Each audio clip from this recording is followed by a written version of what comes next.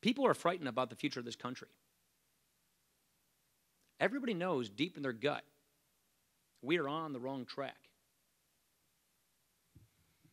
The central challenge of our country, if I could just summarize it briefly, is that we face an uncontrolled government that threatens to overwhelm us.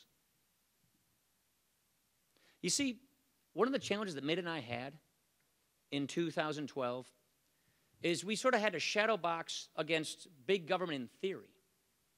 We kept trying to say, this is what Obamacare is going to do. This is what Dodd Frank, and by the way, if you don't know what Dodd Frank is, it's basically Obamacare for banks. You know, this is what this is going to become, and this is what all this debt leads to. The, the challenge we had was it was sort of our word against theirs because they did not put their program in practice yet. The president had total control of Congress in his first two years. Nancy Pelosi and Harry Reid running the Senate, running the House. And they passed all these bills, but they delayed its implementation till 2013.